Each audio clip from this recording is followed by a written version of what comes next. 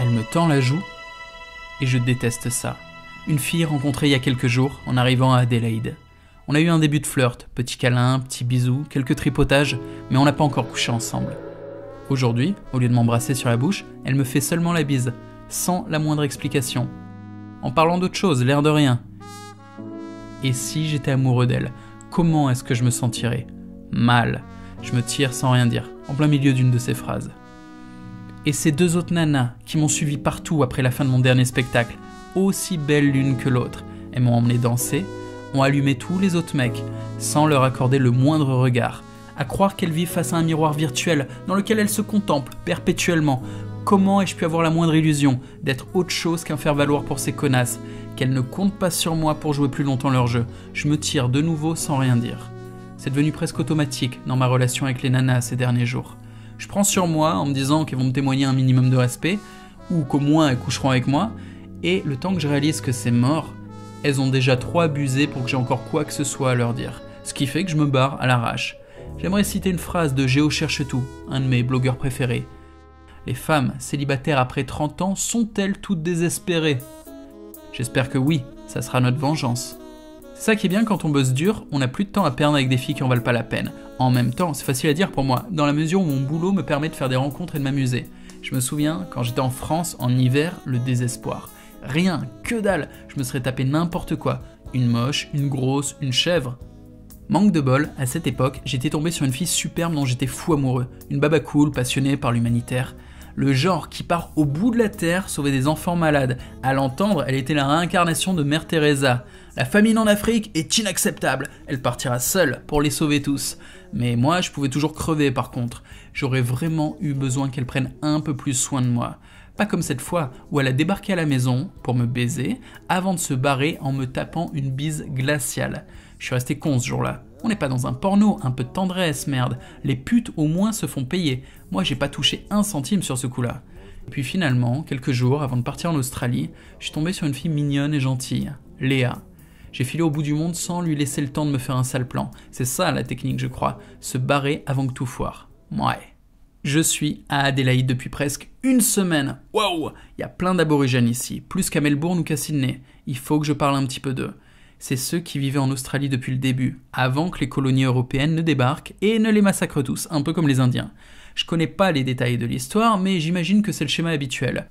Les Occidentaux débarquent un jour, défoncent la gueule de tout le monde, violent les femmes, tuent les gosses, et plantent un drapeau, l'air de dire Là mon pote, t'es sur un terrain privé. C'est sans doute pour ça qu'aujourd'hui, les aborigènes vivent dans le désert ou accessoirement dans les banlieues, tandis que les blancs vivent dans des superbes villes futuristes en bord de mer. La plupart des gens sont au courant de tout ça, mais le massacre des aborigènes n'est pas tellement médiatisé. De mémoire, on n'en parlait pas à l'école. On parlait surtout des juifs dans les chambres à gaz, et accessoirement de la traite des noirs ou du génocide des Indiens d'Amérique. La question est donc, pourquoi ce silence sur les aborigènes? J'ai bien réfléchi et voici mon analyse. Je compte en faire une thèse et la présenter en faculté, histoire de me taper un maximum d'étudiantes en mini-jupe. Pourquoi est-ce que personne n'en a rien à foutre des aborigènes? Voici ma thèse. Il y a bien eu le dernier des Mohicans, et cette petite allumeuse de Pocahontas pour défendre les Indiens. Mais pour les aborigènes, y a quoi? Que dalle? Pourtant, les histoires se ressemblent un peu. Mais vous savez pourquoi tout le monde s'en fout? Pour une raison de critères esthétiques. Les aborigènes se sont fait baiser par les Indiens pour une histoire de coupe de cheveux et de style vestimentaire. Pas de jolies plumes sur la tête, pas non plus de belles chevelures comme dans les pubs L'Oréal. Pour illustrer mon propos, je vais te décrire deux photos que j'ai trouvées sur internet. L'une de Pocahontas en string, tu remarqueras les jolies nattes pour lui tirer les cheveux, ce petit cul cambré assez merveilleux et une aborigène de 25 ans qui paraît en avoir 60 et qui ressemble un petit peu à E.T. version chimpanzé. Le visage tout fripé, les cheveux hirsutes, on dirait une serpillière, habillée en haillons, ce qui était sans doute à l'époque des survêtements masculins, aujourd'hui très sales et pas du tout à la bonne taille. C'est une question de style. Les Indiens fumaient des gros pétards, appelés les calumets de la paix, galopent cheveux au vent, vivent dans des tentes multicolores, ça fait rêver les jeunes. Et puis les petites indiennes qui se trémoussent au rythme des tam-tams en mini-jupe, ça a dû aider à vendre le concept aussi. En plus, c'est loin d'être des cons. Les chefs de tribu parlent comme des vieux sages chinois. Ils maîtrisent quelques tours de magie, invocation d'esprit, préparation de potions chamaniques à base de mescaline. C'est clair, les Indiens ont un univers qui fait rêver. C'est pas pour rien qu'il y a eu tous ces films sur eux. Et puis des arcs, putain, ils peuvent te tirer une flèche dans le cul. Bon, bien sûr, ils se font défoncer face au fusil, mais au moins ils font style de se défendre. Alors qu'en face, les aborigènes, bah je comprends qu'il y ait si peu d'histoires sur leur compte. Ceux que j'ai croisés dans la rue, en Australie, généralement étaient complètement bourrés et mendient pour du tabac ou de l'argent, avec un anglais encore plus mauvais que le mien. Et lorsqu'ils se parlent entre eux, ils crient tout le temps, comme s'ils s'engueulaient, ça fait peur. Mais il paraît qu'il y a des aborigènes cool qui font de la peinture et du boomerang. Ceux-là ne sont pas en ville, ils vivent dans le désert, ce qui fait que personne ne les voit jamais. En ville, il n'y a que les déchets, ceux d'entre eux qui subissent un système complètement inadapté à leur culture et à leur niveau de civilisation, bref, les victimes. Les Indiens, eux, ont su s'adapter. Prenons par exemple l'Indien dans la série Le Rebelle. Ça vous dit quelque chose? Une vieille série à l'ancienne. L'Indien, c'était un putain de winner qui roulait en 4x4 avec une coupe de cheveux à la Chuck Norris et si tu l'emmerdes, il te met un gros coup de Santiago. Je crois que tout le monde aura compris que c'est l'époque qui a été fatale aux aborigènes. La mode aurait été différente, ils auraient peut-être eu leur film au cinéma, un dessin animé chez Disney, la reconnaissance internationale, un chèque cadeau chez Darty. Mais non, rien de tout ça. Il y a un autre truc qui joue contre eux, c'est leur odeur. Ça paraît minable de parler d'odeur, mais à force de vivre dans une société occidentale, on s'habitue au parfum. Ou même à la javel, aux dissolvants, gaz d'échappement, et à tout un tas de saloperies chimiques et toxiques qui sont autant de poisons, qu'importe, nous ça ne nous choque pas. Mais à mon avis, si on débarque dans la hutte d'un mec qui vit depuis toujours dans la forêt amazonienne et qu'on l'asperge avec Chanel numéro 5, le gars crève comme une mouche aspergée d'insecticides. Les aborigènes sentent mauvais des odeurs de transpiration, des vêtements sales, d'alcool, de vomi parfois, un genre d'odeur de clodo, mais en plus exotique. Et bon, c'est pas étonnant. Tous ceux que j'ai rencontrés squattent dans la rue et picolent toute la journée. Vous voudriez qu'ils sentent quoi? En même temps, je me dis c'est pas possible que tous les aborigènes soient des clodos. Mais en passant deux mois en Australie, j'en ai pas rencontré un seul qui a un niveau social gratifiant. Bien sûr, je passe pour un inculte de décrire les aborigènes ainsi, je me doute qu'avant de se faire exterminer, les mecs avaient une culture. Mais là, sans avoir la moindre info sur leur sujet et en observant uniquement ce que je vois dans la rue, le constat est déprimant. Et c'est pas du tout un sujet qu'on peut aborder avec les Australiens. Ils sont pour la plupart racistes, mais sans l'assumer. Les aborigènes survivants n'ont pas accès au travail ou à un rang social acceptable. Ils touchent une sorte de RMI spécial aborigène.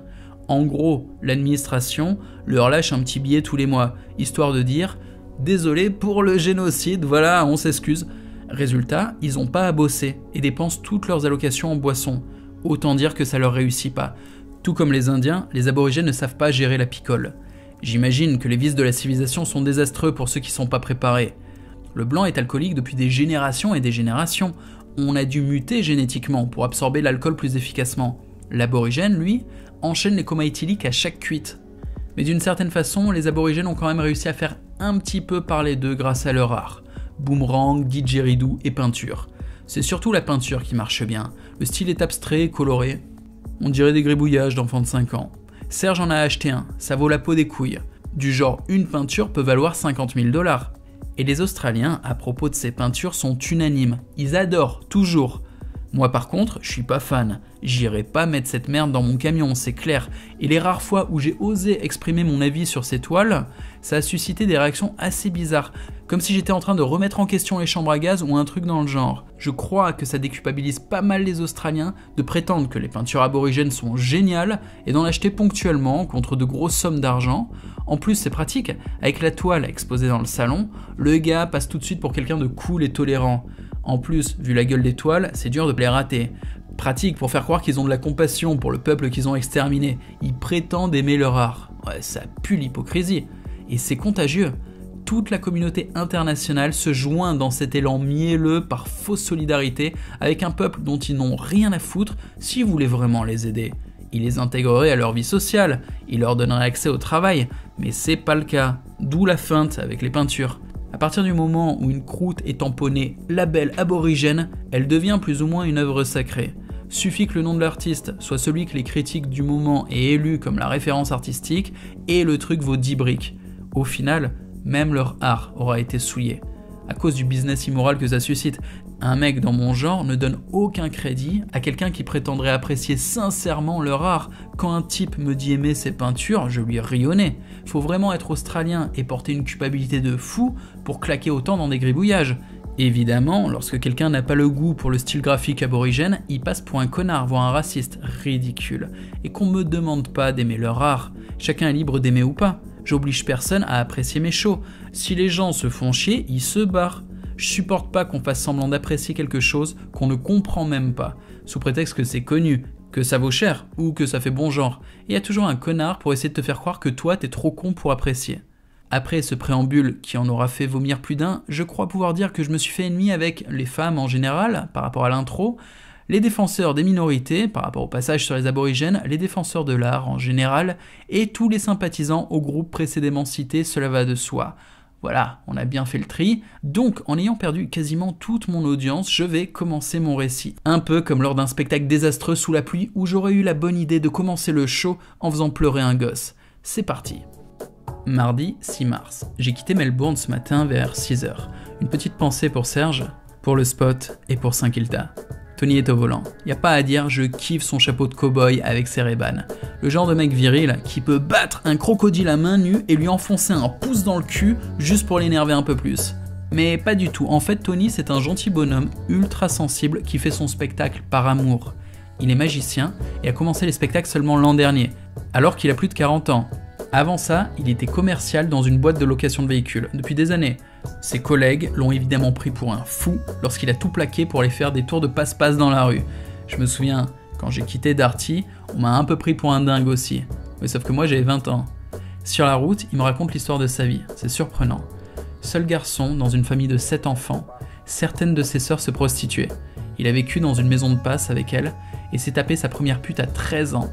Lui aussi a commencé à travailler très jeune, magouille en tout genre. À 14 ans, il roulait déjà en gros cube. Bref, une vie bien spéciale, comme la plupart des artistes de rue. À 17 ans, il vivait seul, était indépendant et voyageait. En s'arrêtant dans un camp de hippies, il était tombé amoureux d'une nana de 29 ans qui avait déjà deux gamins. Il s'est marié avec. Le plus âgé des gamins avait seulement 5 ans de moins que lui. Pas évident à gérer. Mais c'est un bosseur et un gars malin, alors il s'en est sorti. Divorcé, puis remarié, ce coup-ci avec une fille plus jeune. De nouveau divorcé. Putain, mais combien de fois il s'est marié? Entre-temps, il a fait des dizaines et des dizaines de boulots. Il a commencé comme livreur de journaux à 9 ans. Il est devenu mécano, cuisinier, vendeur, magouilleur et j'en passe, pour aujourd'hui être artiste de rue. Il est très content de sa nouvelle situation. Fini les semaines de 45 heures, il prend le temps de vivre. Et d'ici quelques années, il gagnera autant que dans sa boîte de location de bagnole. Et puis de toute façon, il a mis un paquet de thunes de côté. C'est pas une histoire d'argent, il est passionné et considère que chaque occasion de jouer est un cadeau du ciel. On est arrivé le soir à Adélaïde. Lui est allé chez ses potes, d'autres performeurs. Ils fument et boivent tous. Je me sens pas trop à l'aise dans cette ambiance de déchets. Une fois que j'ai collecté les infos pour me garer et aller au draw, le tirage au sort, je m'en vais. Ça y est, je suis enfin seul. Dans mon van, sous un arbre et au bord d'un parc. C'est sans doute étrange, mais j'apprécie de plus en plus ma solitude. Mon camion, dans un coin tranquille, un petit bout de rue pas trop loin où je puisse bosser, et la vie est belle. Il fait nuit, je me sens bien. Même si la compagnie de Tony était agréable, même si Serge a été génial, ça fait longtemps que j'ai pas été seul et ça me manquait. Je vais enfin vivre de nouveau à mon rythme. Mercredi.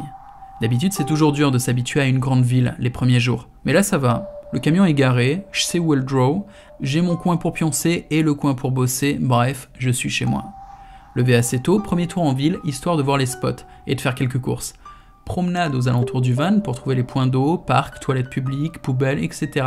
Je prends même le temps de décorer un peu mon van. Dans l'après-midi, je fais mon premier entraînement dans un joli parc. Il y a une rivière qui le traverse et des canards un peu partout. Ici, je m'abonnerai pas en salle de muscu, puisque je fais des shows tout au long de la semaine. Je compte bosser comme un dingue, c'est la dernière ligne droite. La créatine, la prot et les étirements m'aideront à tenir le coup. Hmm, ça fait longtemps que j'avais pas fait du kung fu dans un parc. Ça me fait du bien. Je prends le temps de faire du tai chi et des exercices énergétiques avant de commencer les séries de coups de pied et les sauts. Une bande de gosses vient vers moi. Ils marchent en rang, deux par deux, sous la direction d'une maîtresse. Et chacun a sur sa tête un petit chapeau pour se protéger du soleil. Ah, ils sont rigolos.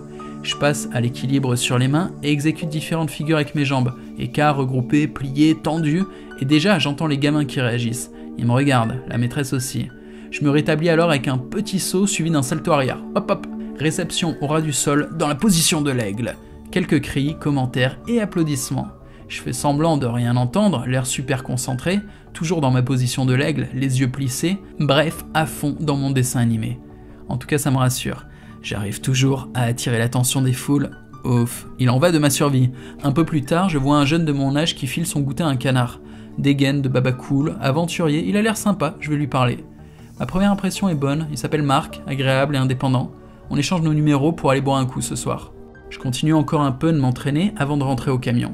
Puis j'appelle Pete, celui que j'avais rencontré à Melbourne et qui m'avait donné des petits conseils pour être un peu plus à l'écoute des autres. Il est maintenant à Adélaïde, on se voit ce soir aussi. Je me prépare et pars en ville, avec mes plus beaux habits, chemise noire et jean qui me fait un beau cul. Le festival ne commence que demain, et pour l'instant, rien ne laisse présumer qu'un gros événement arrive. Ça m'inquiète un peu de voir aucune scène dans la rue, ni des structures en montage, comme c'est généralement le cas dans ce genre d'événement. Enfin bon, on verra.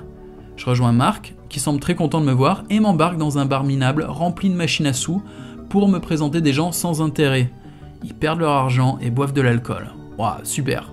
Sur les machines, des signes multicolores tournent quand on actionne une manette et ça fait du bruit.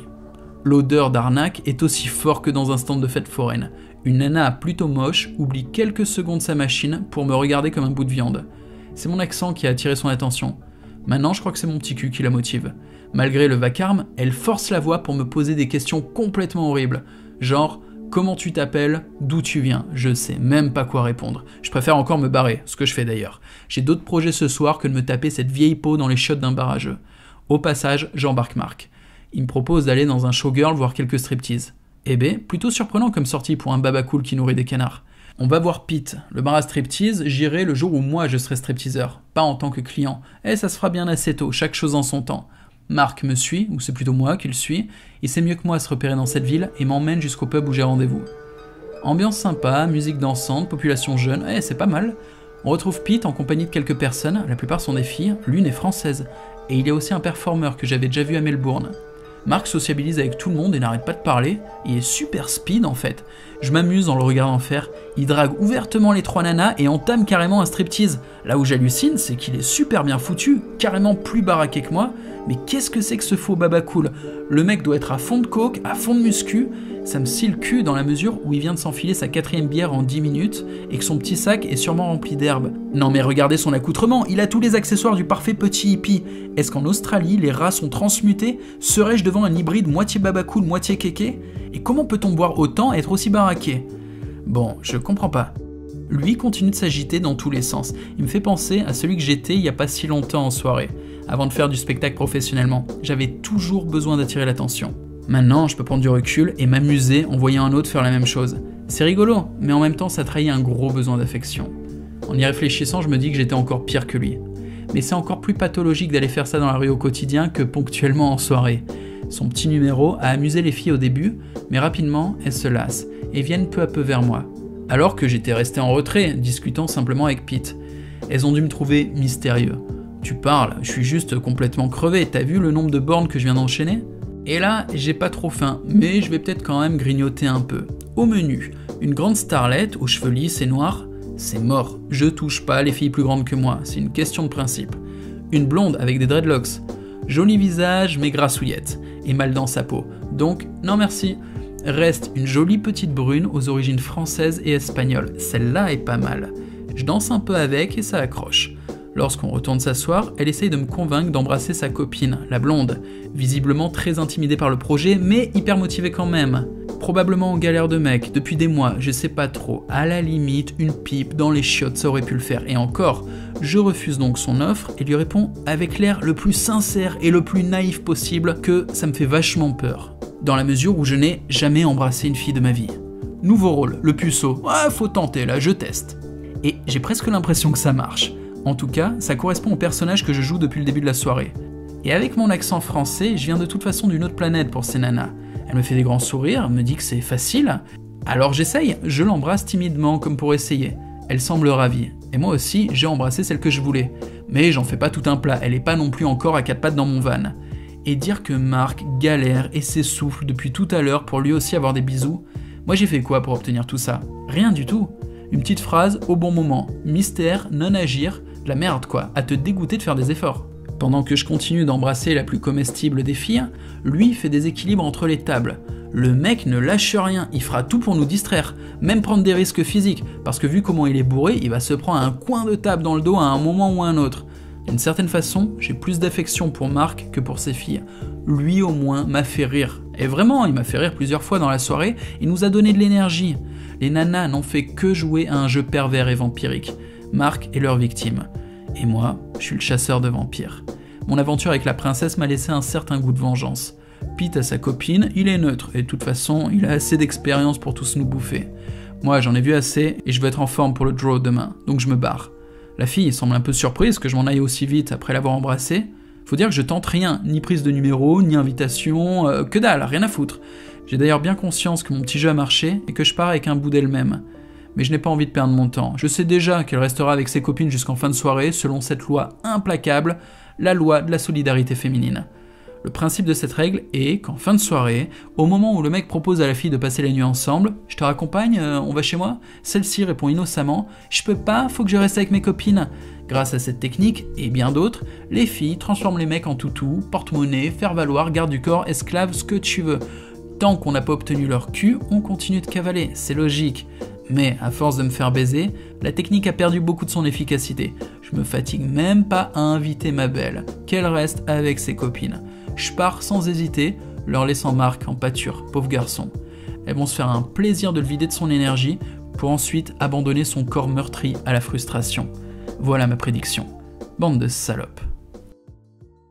Jeudi matin. Me voilà au draw, nous allons tirer au sort les heures de passage. On décide des plannings des quatre spots en même temps. C'est super bien organisé. Trois spots pour le Rundle Mall. Alors le Rundle Mall, c'est la rue piétonne avec les galeries marchandes, une sorte de longue rue avec des magasins sur les côtés. Et un dernier spot dans le Fringe Garden, c'est un grand parc. En gros, les spots du mall sont merdiques et durs à bosser, genre Pitt Street à Sydney. Les passants se rendent à leur travail, font du shopping ou vont en cours. Bref, personne n'est là pour voir des spectacles. Le spot du Garden, par contre, est génial. Beaucoup de public, une vraie scène, un de système puissant et des éclairages. C'est pour ce spot que tout le monde est venu. 5 passages par soir, et on est plus de 25 artistes. Ça veut dire, avec une chance normale, on y joue environ deux fois par semaine. Pas top. Le draw, c'est l'occasion de découvrir tous les performeurs présents dans la ville. Ici, on est un paquet. Je connais quasiment personne, comme d'habitude. Mais à force, certaines têtes me reviennent. Il y a Sam, le super danseur de Sydney, quelques gars de Melbourne, un paquet d'inconnus et et le petit gros, putain, l'enfoiré qui m'avait piqué mon bâton. Je sais toujours pas son nom, et d'ailleurs je veux pas savoir. Lui par contre est ravi de me revoir et vient me faire un câlin collant. Erk Ce mec doit avoir mon âge. On est les seuls à être si jeunes. Tous les autres ont 10 ans de plus environ. Il a un costume merdique, nœud papillon, bretelles et un short trop grand. Chemise froissée et décolorée. Mal rasé, son gros bit dépasse sous sa chemise au-dessus du pantalon et il se tient n'importe comment on dirait que son double menton l'empêche de bien articuler, et bordel, il bave toujours. Son show est une merde. Il exécute sans la moindre grâce des tours de magie achetés dans un magasin de jouets. Et pour la musique, un poste dans le genre de celui de ma petite sœur. Celui que j'avais cramé sous la pluie, un genre de galère. Mauvais souvenir. Lui non plus ne connaît pas vraiment les autres performeurs, et les rares qui l'ont déjà vu l'ignorent complètement, forcément. Pour lui, ma présence est une aubaine. Il a enfin quelqu'un à qui parler. Mais le problème, c'est qu'il y a quelque chose que je déteste encore plus que la médiocrité, que le mauvais goût vestimentaire ou le fait d'être mal rasé, quelque chose que je ne supporte pas. Les gros. Bien sûr, il y a des exceptions. J'ai rencontré des gros sympas. Serge, par exemple. Ça lui ferait du bien de perdre 20 kilos. Mais ce mec est tellement génial que, allez, je lui pardonne son physique. Il n'empêche que je me méfie vachement de ceux qui laissent leur corps se dégénérer. Je pars du principe que quelqu'un qui se respecte pas lui-même va forcément me manquer de respect à un moment ou un autre. J'ai tenté de pas être trop méchant avec le petit gros. J'ai même filé un conseil rase-toi. S'il avait fait, j'aurais pu tenter de lui donner un peu d'énergie, genre un autre conseil. Mais il m'a pas écouté. Il continue de venir me voir avec sa barbe de 3 jours et me raconter des conneries dont j'en ai rien à foutre. La plupart du temps, je réponds tout simplement pas. Je regarde ailleurs. Essayant tant bien que mal de faire abstraction du spectacle navrant de son anatomie. Mais il insiste à chaque fois et va jusqu'à poser sa main moite sur mon épaule et me forcer à me retourner. C'est alors, à seulement 50 cm de mes yeux révulsés, que je vois sa bouche baveuse articuler des sons. Mon cerveau horrifié se refuse à traduire la moindre de ses paroles. Vraiment, je ne comprends pas ce qu'il dit. Avec une certaine force de concentration, j'ai réussi à l'oublier, en essayant de faire comme si je connaissais pas ce mec. Car, pour tout avouer, ma vraie terreur, c'est qu'on nous associe. À nous deux, on serait la nouvelle génération. Sans déconner, il y a tellement pas moyen. Déjà, depuis que je suis Sydney, la plupart des performeurs me prennent pour un con. Il serait peut-être temps que ça change. Pour l'instant, l'ambiance entre artistes est assez froide. Pas grand monde ne se connaît, le festoche n'a démarré qu'aujourd'hui et pour l'instant c'est très calme. Même trop calme. Certains types semblent super confiants, des grosses pointures qu'on renifle à 100 mètres. Certains ne ressemblent même pas à des performeurs. Ceux-là, c'est les pires. Des mecs de 40 ans, classiques, qui ont l'air de rien. Derrière cette apparence trompeuse se cachent parfois des légendes vivantes. Philippe est ce genre de gars. Un mec en costard, plutôt classe, on se doute de rien à première vue, alors qu'il est tout simplement le meilleur du monde dans son style. On tire les numéros sur les 4 spots, et pour l'instant je ne joue que dans la rue de la galerie marchande. Un mec joue déjà sur mon spot, bon niveau, sans doute bien meilleur que moi en création de cercle, mais ça l'empêche pas de galérer. À chaque fois qu'il passe à une nouvelle séquence de son show, il perd du public et doit reconstruire le cercle. Pour le final, il a à peine 30 personnes. Et encore, sur un spot facile, un type comme lui ferait des cercles de plus de 200 personnes, je le sais. Quand vient mon tour, je prépare mon matos, personne ne s'arrête. C'est déjà un signe de confirmation. Sur les spots faciles, suffit de déballer un peu de matériel pour que les premiers curieux s'agglutinent. Pas de souci, je m'y attendais. Un peu de tchatch, je lance le warm-up de 15 minutes et toujours personne qui s'arrête. Je lâche l'affaire. Le mec qui a bossé avant moi a dû faire 20 dollars. En m'acharnant, j'aurais peut-être fait la moitié, même pas sûr. Sam, le danseur, enchaîne derrière moi et réussit à bosser. Cercle et ambiance correcte, c'est pas la folie, mais il réussit à faire son boulot. Respect. Ça me fait du mal de voir que lui il y arrive, mais j'essaye de le prendre cool. Un peu plus loin, je tombe sur le show d'un mec à la coupe de cheveux étrange. Chauve sur le dessus et des petites couettes sur le côté. Lui aussi un cercle, sans déconner. Donc à part moi, aucun autre artiste n'a abandonné. Je crois bien, pour l'instant, être le plus mauvais d'entre nous. C'est ce que je ressens en tout cas, et ça me fait bien chier. Si ça se trouve, même le petit gros a réussi à bosser. Faut pas que je cherche à savoir, ça me ferait du mal. Je rentre au van, un peu amer, et pose le matos. Ça suffit pour aujourd'hui. J'essaierai de repartir sur des nouvelles bases demain. En revenant en ville le soir, j'ai une sacrée surprise. Le festival a enfin commencé. Les rues sont bloquées, il y a des foules énormes, quelques performeurs font des gros cercles, ils étaient même pas au draw ce matin. Putain, ils ont été plus malins et mieux informés que nous. Si j'avais su, c'est maintenant que j'aurais joué. Mais le van est loin, j'ai la flemme d'aller prendre le matos. Et maintenant que j'ai vu ça, je bosserai uniquement le soir. D'ailleurs, je comprends mal pourquoi on est autant au draw à se disputer des spots de merde alors qu'il y a une telle ambiance la nuit. Je pars découvrir le jardin, ou Fringe Garden, le meilleur spot, le centre du festival. C'est là-bas qu'il y a la scène avec sound system et lumière. On est tous ici pour avoir la chance de jouer dessus. Le Saint Graal, c'est rempli ce soir. Le show qui joue en ce moment marche super bien. J'ai hâte de pouvoir bosser là. Le mec qui organise le draw vient à ma rencontre. Il s'appelle Nigel et me demande comment ça s'est passé. Je lui réponds la vérité. J'ai même pas été foutu de créer un cercle suffisant pour commencer mon spectacle. Mais les prochains jours, je compte bosser surtout en soirée. Sauf qu'il m'annonce que c'est mort. La foule est là uniquement pour ce soir. Aujourd'hui, c'est le lancement du festival. Ils ont bloqué les rues pour l'occasion et organisé des concerts et autres événements spéciaux. Mais il n'y aura pas autant de monde dans la rue avant deux semaines pour le lancement du Family Day, un autre événement. En attendant, ce sera comme cet après-midi au mall, une ville normale de province, avec quelques passants qui font du shopping dans la rue piétonne. C'est pas vraiment l'idée que je m'étais faite du festival, pas terrible. Pour me remonter le moral, il me raconte une histoire. Quelques années auparavant, un artiste est venu ici et n'arrivait pas à faire son cercle, comme moi. Alors, il a renoncé au tirage au sort.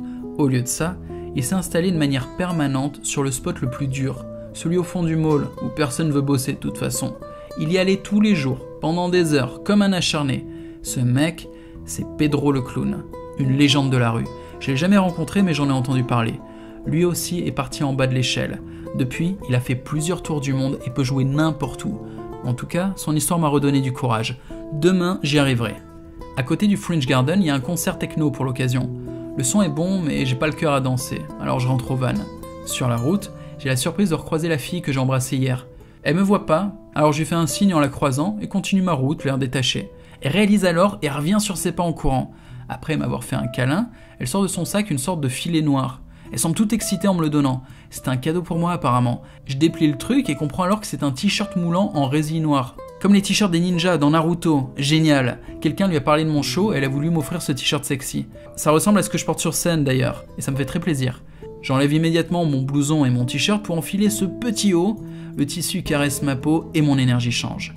Je bouge un peu, fais quelques déhanchés, immédiatement quelques passants réagissent. Ça y est, je me sens de nouveau vivant. Cette fille m'a ressuscité. Je l'embrasse et les emmène elle et ses copines au concert. Allez, on va danser. Elle s'appelle Marisol et devient plus ou moins ma copine. En tout cas, on se bécote comme un jeune couple. Le DJ balance de la techno house minimaliste, très bien, tout le monde apprécie. On gicote plus de deux heures, ça fait du bien. Je délire avec tout un tas de monde grâce à ma tenue sexy. Les filles s'amusent aussi. La plupart doivent me prendre pour un gay. Elles se collent carrément à moi ou me caressent le torse comme si j'étais complètement inoffensif. En même temps, je vais pas les baiser sur le dance floor, donc techniquement oui, je suis effectivement inoffensif. Un aborigène complètement bourré commence à foutre la merde. Une montagne de 2 mètres, grand et très gros. Dans la main, une bouteille de plastique remplie d'un liquide jaunâtre, sans doute de l'alcool artisanal. Le mec fait n'importe quoi. Il piétine nos affaires posées au sol sans s'en rendre compte et prend une des filles dans ses bras de force. Je tente de le calmer. Le mec veut rien savoir et s'accroche à elle comme à un bout de viande, le regard vide, on dirait un chien stupide. J'arrive à libérer la nana, elle se met vite derrière moi, et le mec commence à me regarder de travers. Pas content apparemment. Il fait deux têtes de plus que moi et au moins le double de mon poids. Vu son gabarit, si on part en combat au corps à corps, je suis foutu. Une seule solution, je tente le tout pour le tout et me jette dessus pour lui faire un gros câlin. Avec ma tenue de PD, ça passe. Il a l'air aussi surpris que dégoûté et se barre. Oh oh Même sur les mecs cramés au dernier degré, ce genre de technique fonctionne parfois. Manque de bol, il repart directement emmerder une autre copine. Fais chier. Je vais voir les mecs de la sécurité pour qu'ils me filent un coup de main, mais ces connards me répondent qu'ils interviendront pas tant qu'un coup soit porté. Fais chier. Je retourne donc vers mon aborigène pour trouver une solution ou au pire prendre mon premier coup. Mais en revenant vers lui, l'inattendu se produit. Sa femme est intervenue avant moi, aussi imposante que lui, Apparemment, elle voit d'un mauvais œil le fait que son homme s'agrippe à des minettes pour leur baver dessus. Il se fait salement pourrir, le mastoc prend un air de chien battu, pendant que sa nana officielle aboie des trucs incompréhensibles. Violent, même si j'avais eu les moyens physiques de le dominer, j'aurais été plus soft que sa meuf. On dirait vraiment qu'ils sortent d'une autre planète. Ils sont tellement maladroits et inadaptés à notre culture. Leur survie en milieu occidental est une humiliation constante. De la même façon, j'aurais probablement l'air d'un con si on inversait les rôles et que j'allais survivre dans le désert à bouffer des cafards dans une grotte. Ce qui, j'imagine, ressemble un peu à leur quotidien traditionnel. Quoique, en fait, j'ai aucune idée de la manière dont ils vivent. Non pas que ça m'intéresse, hein, mais à tous les coups, je ne survivrai même pas. On va se reposer un peu au bar en plein air. Ils ont mis des canapés et des sofas. Au moins, on peut discuter au calme. Marisol me parle de son ex-copain qu'elle a quitté il y a quelques jours parce qu'il était violent avec elle ainsi que sa grand-mère française qui veut absolument me rencontrer. Ah bon? Je finis par rentrer seul au van sans vraiment essayer de la ramener. Besoin de sommeil. Vendredi. Levé par l'alarme de mon portable à 9h, ça fait longtemps que j'avais pas utilisé de réveil pour aller jouer. Mais bon, il est temps de prendre les choses au sérieux. Aujourd'hui, je bosse. Petit déjeuner, étirement, un peu de protéines et de créatine pour avoir la forme. Je pars au draw de 10h30, une demi-heure de marche avec ma chariote. Les écouteurs de mon baladeur dans les oreilles, j'apprécie le simple fait de marcher torse nu au bout du monde, sous le soleil matinal. Quelques exercices sur le chemin, il y a une barrière au-dessus de laquelle j'aime bien sauter. C'est Bruce Lee qui disait ça, on doit saisir chaque occasion de s'entraîner. Arrivé au draw, la plupart des autres performeurs ont l'air éclatés. Logique, si on aimait se lever tôt, on serait pas vraiment devenus des artistes. Tirage au sort. Mon premier show est à 15h. Ce coup-ci, c'est quand même plus facile qu'hier. Et je construis un cercle juste en préparant mon matos, avec un peu de musique. Je coupe le son, me présente et fais avancer le public jusqu'à la corde. Warm-up de 10 minutes. Commence à y avoir du monde. Saut avec la poubelle, ça y est, j'ai de la tension. Puis j'enchaîne sur la salade et perds la moitié du cercle. Pas top, petit chapeau, 10 dollars environ, de la merde. Le saut de poubelle a pris toute l'attention et ça ressemblait tellement à un final que les gens se sont barrés après. Chute d'énergie. Et puis je parle trop pendant la salade. Avec mon anglais à deux balles, je saoule tout le monde. Ils comprennent même pas la moitié de ce que je raconte il faut que je demande à mes acteurs de faire moins de répliques et plus de gestuels. Vers 17h, lorsque tout le monde arrête de bosser, j'en refais un, sans la salade. Ça commence à mieux marcher. Mais encore une fois, après le saut de poubelle, je perds un paquet de monde. Chapeau à 20 dollars. C'est mieux, mais ça reste merdique. Allez, putain, j'en refais un, faut pas lâcher le morceau. Tous les autres performeurs sont partis depuis longtemps, je suis le seul à encore bosser. Ce coup-ci, je mets la poubelle en dernier, comme finale, et place un gamin sur les épaules du type qui tient la poubelle. Comme ça, la pression est beaucoup plus forte et le saut encore plus haut. Ça marche. Je parviens enfin à tenir mon cercle. 40 dollars Bordel, ça commence à venir Puis je rentre au van, exténué, mais fier de moi. Pas pour les 70 dollars de la journée, c'est insuffisant, mais pour la progression. Premier show 0 dollars, deuxième show 10 dollars, troisième show 20 dollars, quatrième show 40 putains de dollars et à chaque fois avec une construction différente. Je commence à saisir comment faire mon show la journée. Et puis sans déconner, faut de l'endurance pour enchaîner sur un spot aussi dur. J'ai fait le guerrier. Le soir, je reviens au Fringe Garden, le gros spot qui cartonne, mais sans mon matos, juste pour voir les autres performeurs. J'ai le plaisir de découvrir le spectacle de Nigel, le gars qui organise le draw.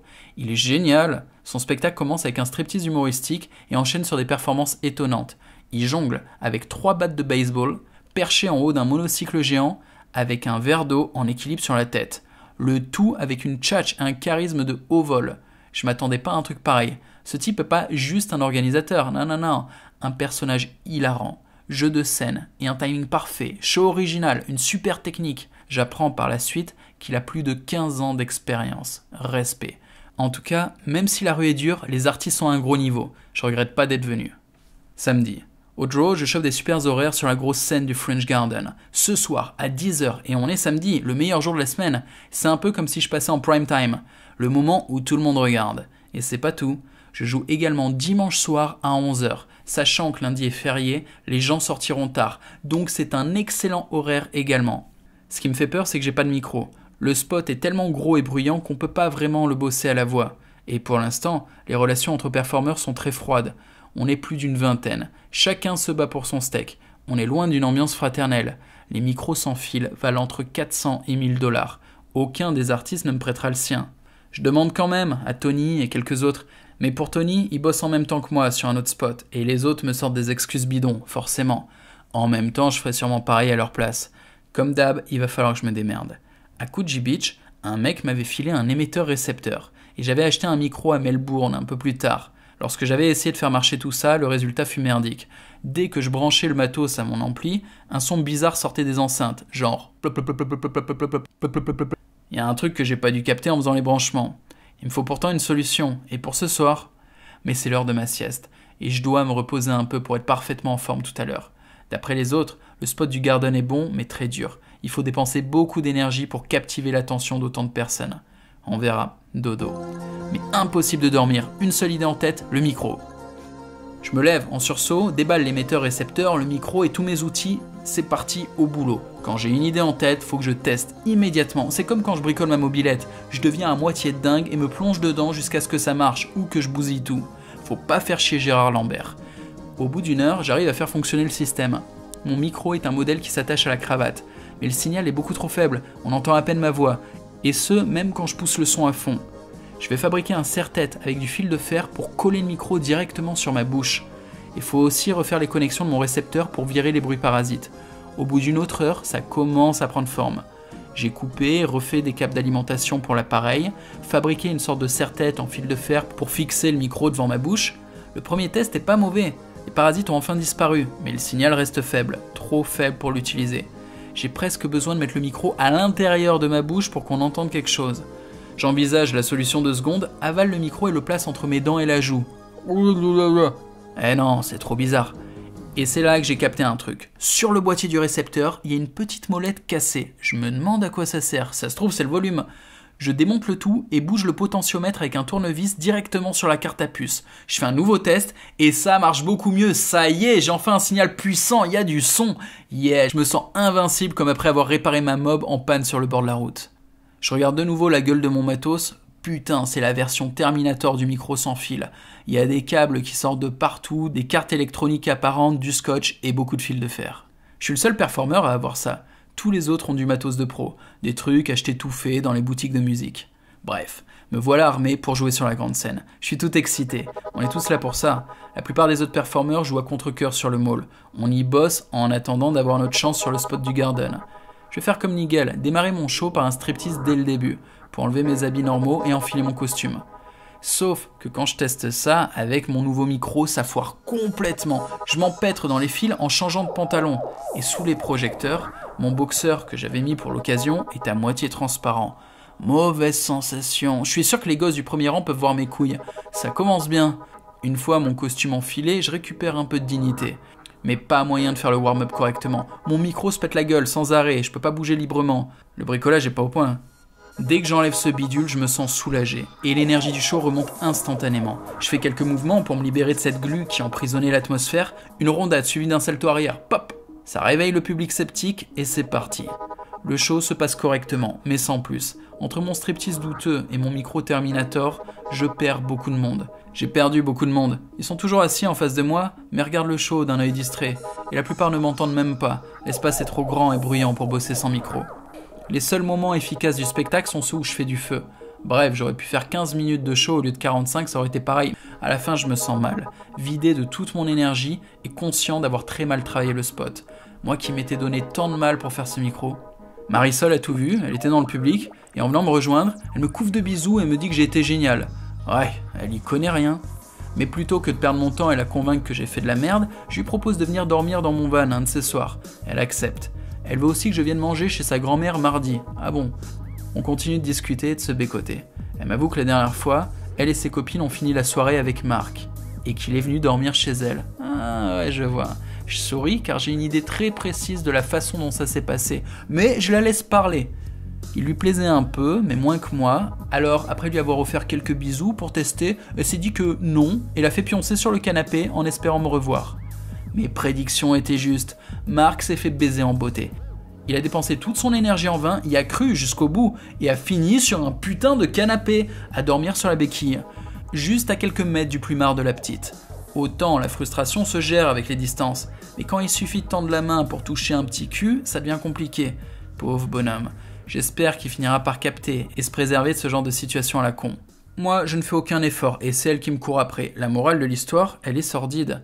Pour obtenir l'affection d'une fille, la meilleure stratégie est bien souvent de jouer la carte de l'indifférence. Apparemment, le côté mystérieux permet à la demoiselle de laisser libre cours à son imagination. C'est ridicule.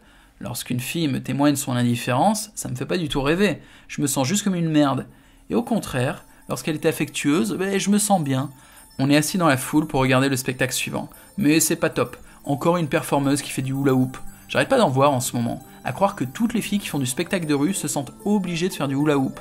En même temps, le hula hoop c'est quoi? À part trémousser son cul. Donc, c'est un peu logique. Et puis les mecs, c'est pas mieux, ils font quoi? Ils font du jonglage. Y a rien de pire à mes yeux qu'un jongleur. Ouais, si, peut-être les clowns.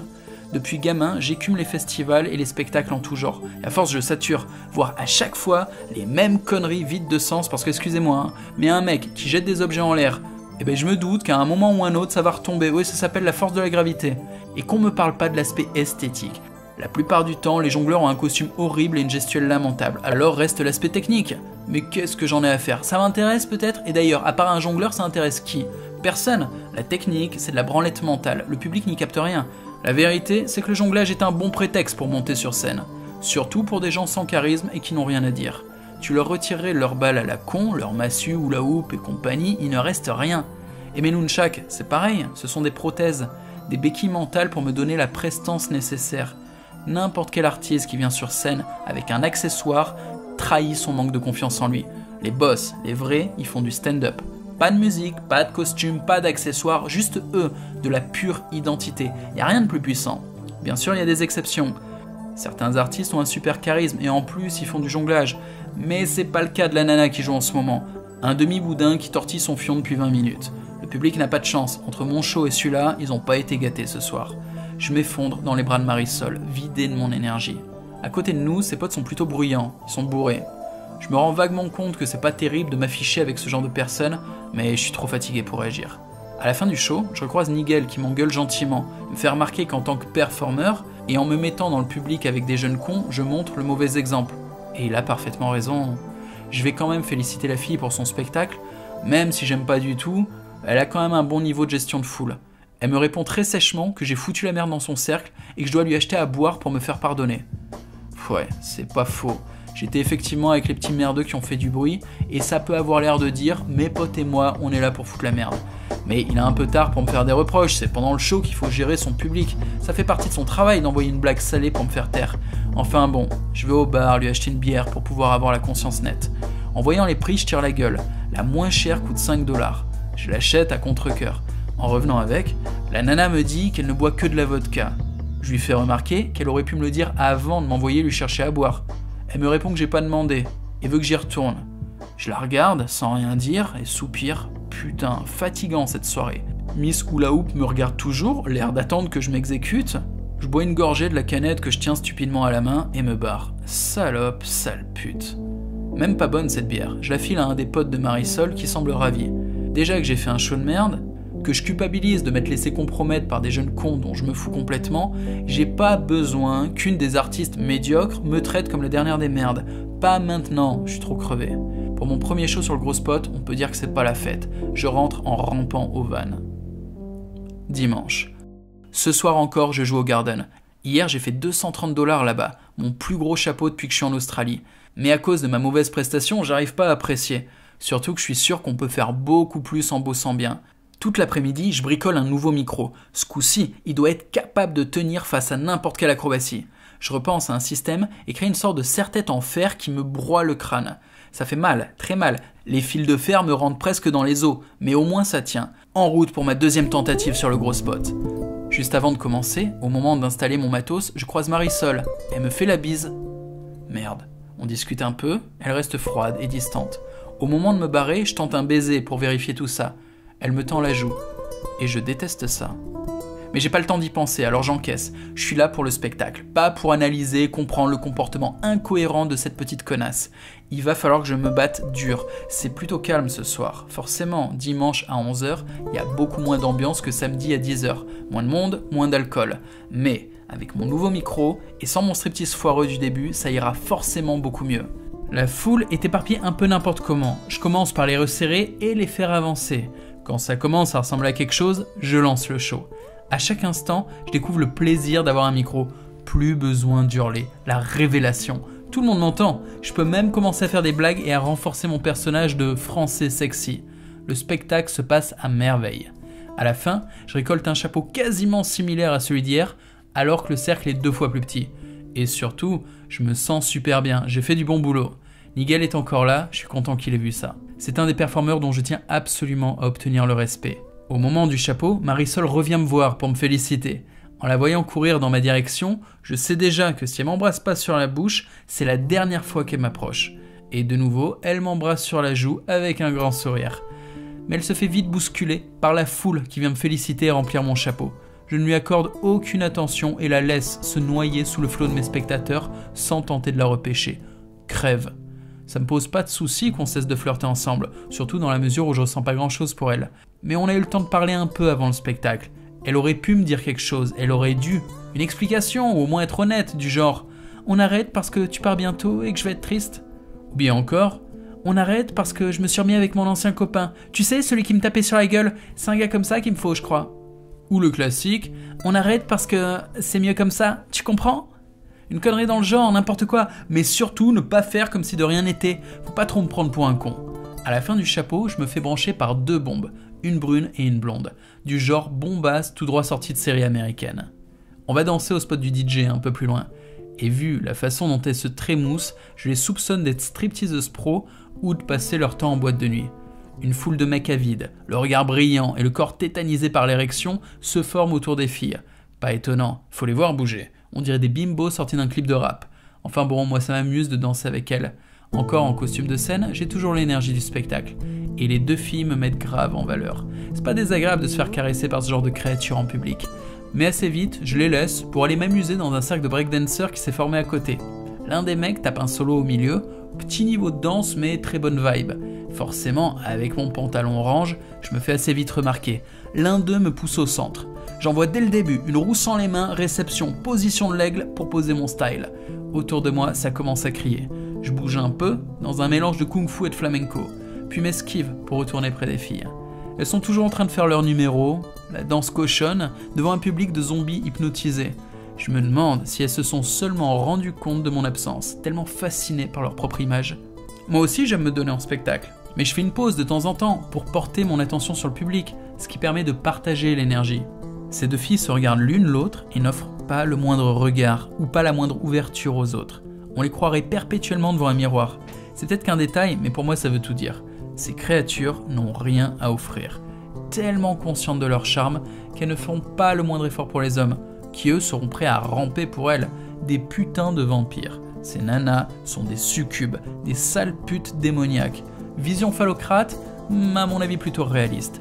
En tout cas, je suis crevé et j'ai pas l'intention de vider mon énergie ici, dans l'espoir pathétique de ramener ce genre de nana à mon van. Et ce genre de fille foutrait-elle seulement le pied dans un van? Pour elle, c'est la décapotable et l'hôtel minimum. Puis faudrait déjà pouvoir discuter. La seule façon d'y arriver est sans doute de leur payer un verre hors de prix au bar et parler de quoi? J'imagine très bien cette connasse en train de me hurler des banalités dans l'oreille. Super cette partie, et toi tu viens d'où? Du sud de la France. De quoi? J'entends rien Je disais donc, tu crieras moins fort quand je t'aurai mis deux doigts dans la gorge pendant que je t'encule.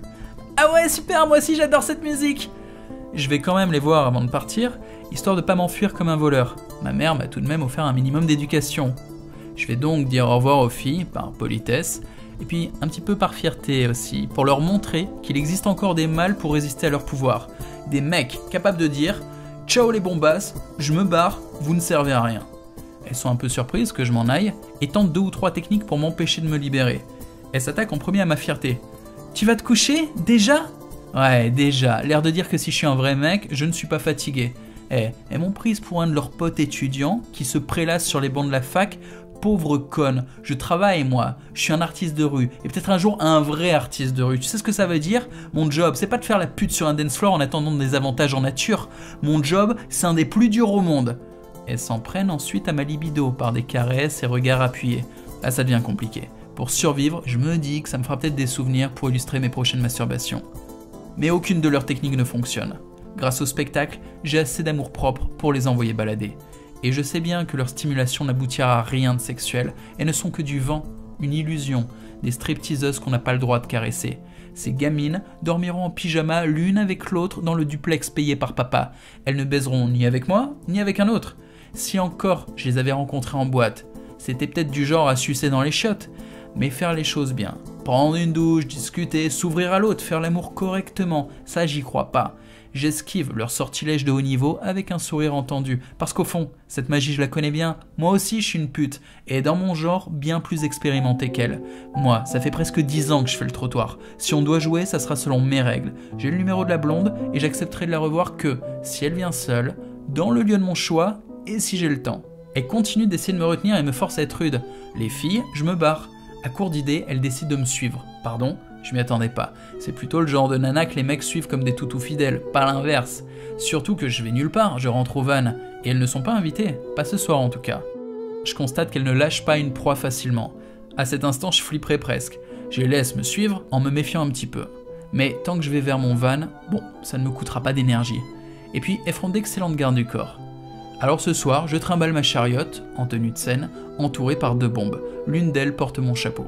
En passant devant une boîte de nuit, on tombe sur un mec à l'arcade sourcilière qui saigne. Il a l'air cool, un air de beau gosse de série américaine qui a un peu bu et qui s'est fait amocher.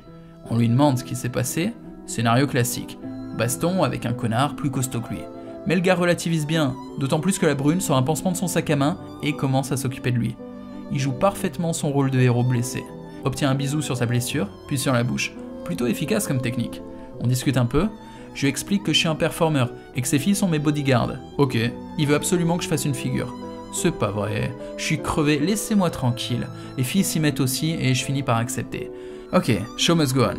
Il y a des tables à côté de nous, je pose les mains dessus, ils comprennent pas trop, puis je prends une impulsion et monte à l'équilibre en arbre droit sur la table, les jambes à l'écart. Ils réagissent bien, quelques applaudissements, je redescends. Le mec essaye de faire pareil, la table bascule, il manque de se tuer. Je le prends à part et je lui dis comme ça. Bon frérot, arrête de faire le con, écoute-moi. Pour moi, c'est l'heure de rentrer au bercail et je compte pas emmener mes gardes du corps. La vérité, c'est que tu sembles en avoir plus besoin que moi. Je te laisse les filles, gratos, fais pas le con, mon pote. Il accepte. Tu m'étonnes. Je sais pas s'il se rend compte du cadeau empoisonné, ou si c'est moi qui deviens complètement fou, au point de me débarrasser de ces deux filles, mais qu'importe, il est temps d'aller dormir. Je mettrai ma main au feu, que ce type ne s'en tapera pas une seule, et perdra beaucoup d'énergie en essayant. Pauvre bonhomme.